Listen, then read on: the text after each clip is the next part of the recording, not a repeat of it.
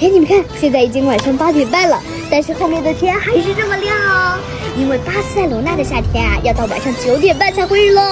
而且餐厅一般要晚上八点以后才开始供应晚餐，中餐馆也一样。插座也很特别哦，我们的是扁头，他们的是圆头，所以呢，如果要在这里用我们的插头的话，一定要配一个类似的转接头。还有啊，这里电梯里的零楼就是我们的一楼，所以二楼呢就是，之九十的电梯更是有开门键，没有关门键，因为他们觉得没什么好着急的。但这里比较不方便的呢，就是不支持手机支付，我们只能用现金或者是信用卡。给你们看看欧元哦，是不是还蛮好看的？它的正面是各种时期的建筑，反面是各种各样的桥梁。这个呢是欧盟的标志，但其实新款欧元啊还有一种两百面值的，不过我现在还没拿到过，等拿到了再和你们分享。关注我，开开心心长知识。